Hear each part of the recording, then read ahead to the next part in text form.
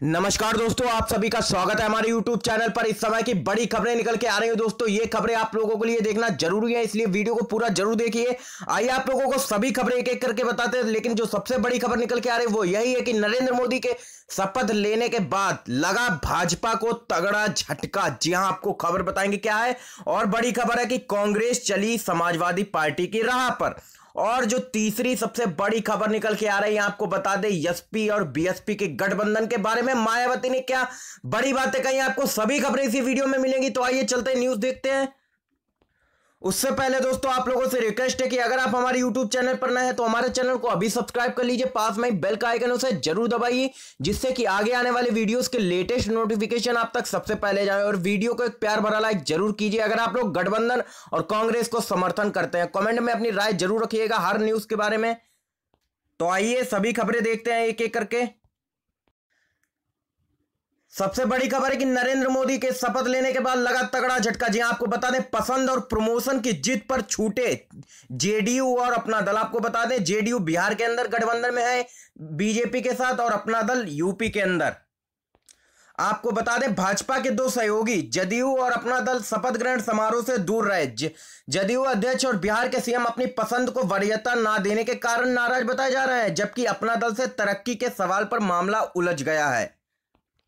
और देख सकते हैं, सिर्फ़ एक ही मंत्री पद मिलने से नीतीश कुमार नाराज़ हैं और सरकार में नहीं शामिल होगी जदयू। जी हाँ यहाँ पे भाजपा को तगड़ा झटका लगता हुआ, लेकिन देख सकते हैं, जेडीयू जो कि अब बिहार में विधानसभा के चुनाव भी होने वाले हैं 2020 में तो देख सकते हैं, भाजपा के लिए अब कड़ी कड़ी चुनौती होने जा रही है बिहार के अंदर। और यही अगर हालात रहे तो बीजेपी को बिहार से तगड़ा झटका लगेगा। जी आपको बता दें, अपना दल ने दो सीटें जीती है उत्तर प्रदेश के अंदर, और वो भी अब साथ देने को बीजेपी का तैयार नहीं है।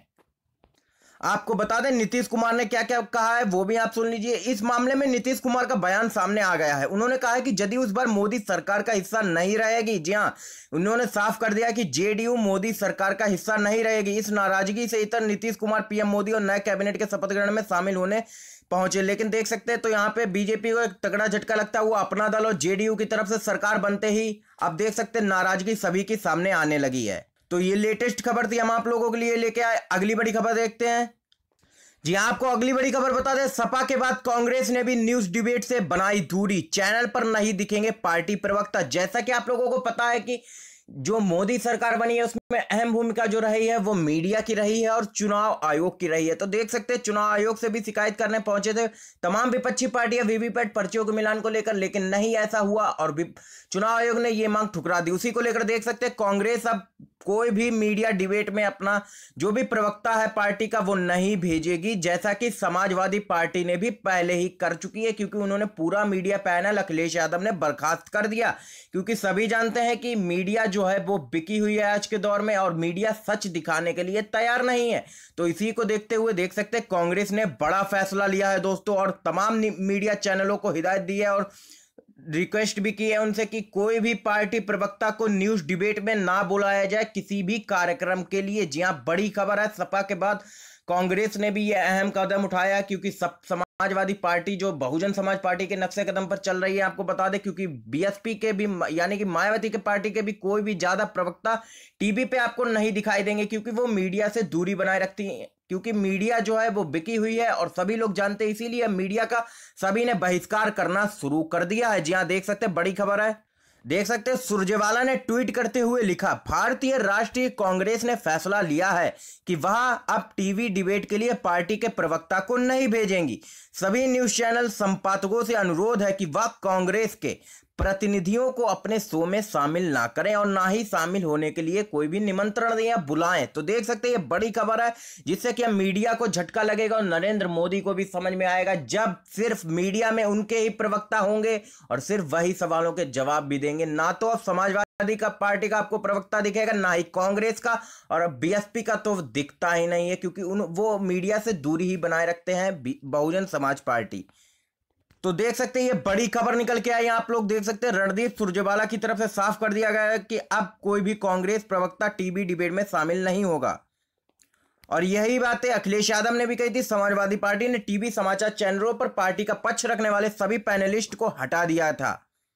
और बता दें, आपको टीवी चैनलों से भी कहा था कि उनके प्रवक्ता को बहस के लिए आमंत्रित ना किया जाए। ये बड़ी खबरें निकल के आई दोस्तों, और बड़ी खबर आपको बताते हैं।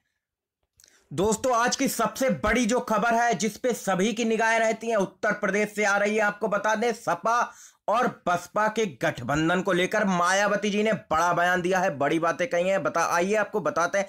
नतीजों के बाद मंथन के मूड में नहीं बहुजन समाज पार्टी। जी हाँ बड़ी खबर है। बसपा के एक पदाधिकारी ने बताया कि गठबंधन से सपा को नुकसान और बसपा को फ़ायदा हुआ है, इसलिए वह मंथन नहीं कर रही है। मायावती संसद में शून्य से दस पर पहुँच गई है। इसके अलावा बसपा के वोट प्रतिशत में भी बढ़ोतरी देखी गई है। तो देख सकते क्योंकि समाजवादी पार्टी को ही गठबंधन के तहत झटका लगा, लेकिन बहुजन जो समाज पार्टी थी, वो ज़ीरो से दस सीटों पर पहुँच गई। तो यहाँ पे देख सकते मंथन के मूड में नहीं है, बहुजन समाज पार्टी। ये पदाधिकारी की तरफ़ से बातें बताई गई हैं, और आपको बताते हैं आप गठबंधन के लिए क्या कहा गया है। लोकसभा चुनाव में मिली करारी हार के बाद, जहाँ एक और पूरे विपक्ष में समीक्षा का दौर चल रहा है, वहीं बहुजन समाज पार्टी बसपा मंथन के मूड में नहीं है। नतीजों के बाद बसपा मुखिया मायावती ने एक प्रेस वार्ता में जो हार जो हुई है गठबंधन की, उसका सीधे सीधे तौर पर ईवीएम पर आरोप लगाया था। आपको ये भी बता दें, उन्होंने प्रेस कॉन्फ्रेंस करके सीधे तौर पर ईवीएम को ही दोषी पाया था कि ईवीएम में जो गड़बड़ी हुई है, उसी की वजह से बीजेपी जीतती है और तमाम विपक्षी पार्टियाँ हारती हैं। क्योंकि ईवीएम में आप देख सकते हैं, बहुत सी जगहों पर गड़बड़ियाँ सामने आई, लेकिन चुनाव आयोग इस बात को मानने को तैयार नहीं है। और आपको आगे बताते हैं क्या क्या बातें बसपा की तरफ़ से निकल गए वहीं बसपा के सूत्र बताते हैं कि मायावती हाल फ़िलहाल संगठन में कुछ खास बदलाव और समीक्षा में अपना समय जाया नहीं करना चाह रही हैं। उन्होंने मंगलवार को दिल्ली में अपने जीते हुए सभी दस नवनिर्वाचित सांसदों के साथ बैठक की।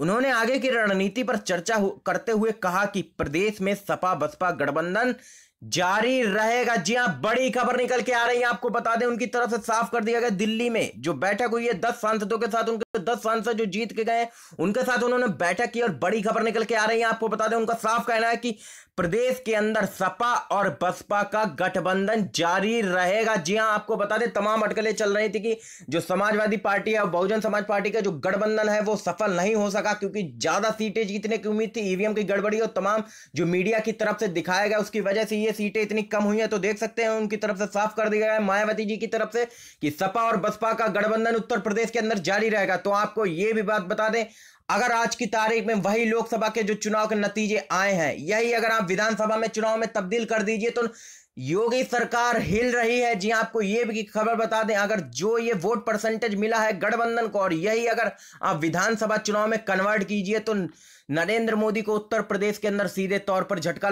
लगेगा और योगी सरकार सत्ता से बाहर हो जाएगी। जी हाँ क्योंकि विधानसभा के नतीजे जो अगर आप निकालिए तो वो समाजवादी पार्टी और बहुजन समाज पार्टी और आरएलडी के पक्ष में ही आए हैं। लेकिन आपको ये जानकारी भी जानना ज़रूरी है कि जो हार हुई है गठबंधन की, वो ज़्यादा वोटों से नहीं, कहीं पे 2000 कहीं पे 5000 वोट, कहीं पे 200 वोट भी एक सीट है। आपको बता दें, उत्तर प्रदेश के अंदर जहाँ से गठबंधन की हार हुई है तो देख सकते हैं बहुत कम अंतर से हार हुई है, ज़्यादा अंतर से नहीं। इसलिए जो आपको बता दें, जो आंकड़े निकल के आए हैं विधानसभा क्षेत्रों के उसमें गठबंधन की बंपर जीत के साथ आपको बता दें। बंपर जीत के साथ सत्ता में आ रही है 2022 में। तो देख सकते हैं सपा बसपा का गठबंधन अब जारी रहेगा यह बड़ी खबर है। अगली बड़ी खबर आपको बता दें, एक्टिव हुए राहुल गांधी जी। हाँ, शरद पवार, कुमार स्वामी से की मुलाकात। शरद शरद पवार से राहुल की मुलाकात तब हुई जब महाराष्ट्र से दिल्ली तक राजनीतिक गलियारों में कांग्रेस, एनसीपी के विलय के कयास लगाए जा रहे हैं। आपको बता दें, पिछले शनिवार को कांग्रेस वर्किंग कमेटी की बैठक में पार्टी अध्यक्ष पद से इस्तीफा देने की पेशकश के छठे दिन राहुल गांधी राजनीतिक तौर पर सक्रिय नज़र आ रहे हैं। गुरुवार को राहुल गांधी ने एनसीपी प्रमुख शरद पवार से मुलाकात, उनके घर जाकर की। इससे इससे पहले कर्नाटक के मुख्यमंत्री और जेडीएस के नेता एच डी कुमार स्वामी ने राहुल गांधी से मुलाकात की। सहयोगी दलों के नेताओं से राहुल की यह मुलाकात इसलिए अहम है क्योंकि पिछले कुछ दिनों में वो अपनी पार्टी के चुनिंदा नेताओं को छोड़कर किसी भी नेता से मुलाकात नहीं कर रहे हैं। पिछले दिनों में उन्होंने राजस्थान के मुख्यमंत्री अशोक गहलोत से लेकर तमिलनाडु के नए सांसदों तक को मिलने का वक्त नहीं दिया था क्योंकि वो काफ़ी नाराज़ बताए जा रहे हैं और खासकर आपको बता दें अशोक गहलोत, जो कि राजस्थान के मुख्यमंत्री हैं, उनसे काफ़ी नाराज़ हैं राहुल गांधी, क्योंकि राजस्थान के अंदर से कांग्रेस पार्टी एक भी सीट जीत नहीं पाई है।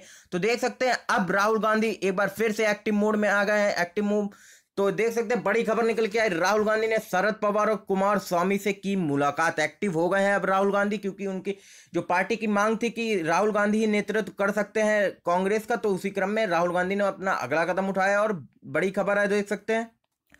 अगली बड़ी खबर आपको बता दें, जगन ने सीएम बनते ही पहले आदेश में गरीब बूढ़ों की पेंशन की तीन गुना बेरोजगार युवाओं को दी राज्यां आंध्र प्रदेश के सीएम बनते ही जगन मोहन रेड्डी ने मुख्यमंत्री के तौर, देख सकते शपथ लेने के बाद कारोबार ग्रहण करते ही जगन ने अपनी पार्टी के चुनावी घोषणा पत्र में शामिल नौ वादों को पूरा करने पर काम शुरू कर दिया। उन्होंने तत्काल प्रभाव से गरीब बूढ़ों और बेरोजगार ग्रामीण युवाओं को राहत पहुँचाने वाले आदेश जारी किए हैं। देख सकते हैं, उन्होंने इस बार आपको बता दें भारी प्र, भारी बहुमत से अपनी सरकार बनाई है। प्रचंड बहुमत से आंध्र प्रदेश के अंदर 175 में से एक सौ इक्यावन लोग ये राज्यसभा में देख सकते विधानसभा का चुनाव जीता सीटें जीती और देख सकते एक सौ इक्यावन सीट जीती हैं और अपनी पार्टी जब शपथ ले रही थी तो देख सकते उन्होंने उसके तत्काल प्रभाव से बाद उसके बाद ग्रामीण युवाओं के लिए और बूढ़ों बेरोजगारों के लिए पेंशन तीन गुना कर दिया और सभी युवाओं को राहत भी दी है। तो ये बड़ी खबरें निकल के आई दोस्तों, देख सकते हैं हमने आपको खबर बताई।